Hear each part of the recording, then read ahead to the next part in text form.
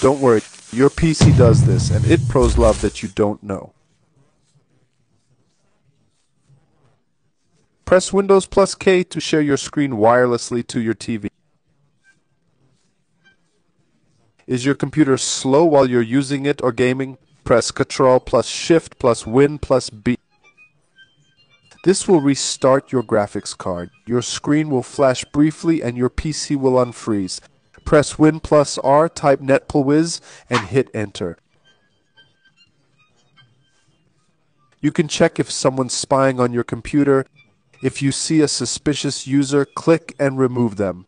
If you think your PC is hacked or has a virus, don't buy pricey antivirus. Press Win plus R again, type MRT.